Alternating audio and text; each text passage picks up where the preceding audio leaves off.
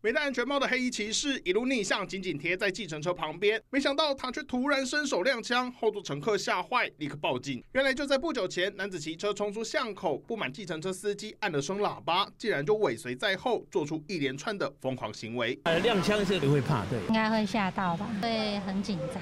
事发在新北三重光新街，七号清晨六点多，骑士被小黄司机按喇叭，瞬间暴怒，猛捶油门，逆向骑到驾驶座旁边，掏出手枪朝司机恐吓，双方爆发行车纠纷。警方获报后不敢大意，立刻调阅沿线监视器，以车追人，终于逮到骑士。不过他拿的不是枪支，而是枪型的打火机。在案发后两小时内，立即将范闲通知到案。